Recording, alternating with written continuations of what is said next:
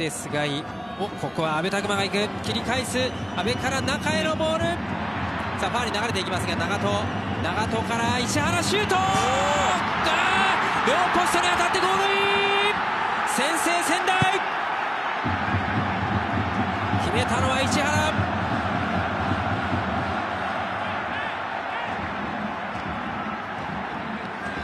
言ってた通りになりました、ね、そうですね。点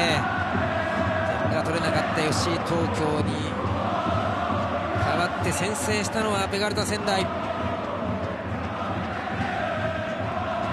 こら辺の揺さぶりからのね思い切ったシュートですよね。はい